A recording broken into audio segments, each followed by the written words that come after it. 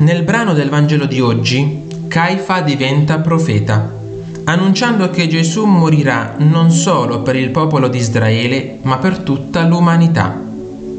È qui che comincia la strada verso il Calvario.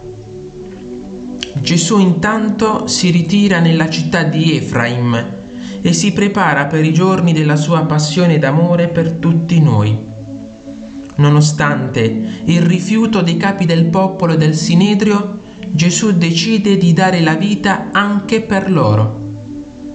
Questo fatto ci dice che non importa quanto sbagliamo, quante siano le nostre fragilità, Cristo dà la vita per ciascuno di noi.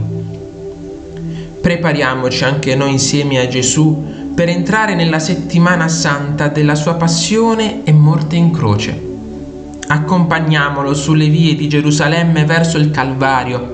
Stiamogli vicini per poterlo consolare nei momenti difficili. Ringraziamolo per tutto quello che fa per noi e non dimentichiamoci che dopo la morte segue il grande evento della risurrezione. Cosa suscita in te il rifiuto degli altri? Sei pronto ad amare anche chi ti è antipatico.